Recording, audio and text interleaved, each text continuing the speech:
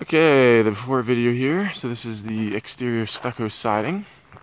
So this is going to be going a white cream, and then the top fascia board It's going to go a darker kind of browny, almost black, not quite, but so as you can see, it's really dirty right now. A lot of dirt, so we're going to pressure wash all that off. Get all this kind of mossy green muck off.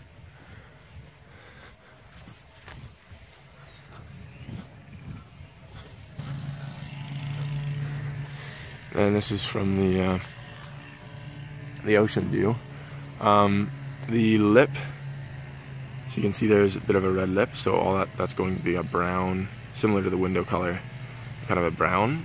Uh, so the fascia lip's going to be a different color, but the siding's all going to be that white. All the way around here.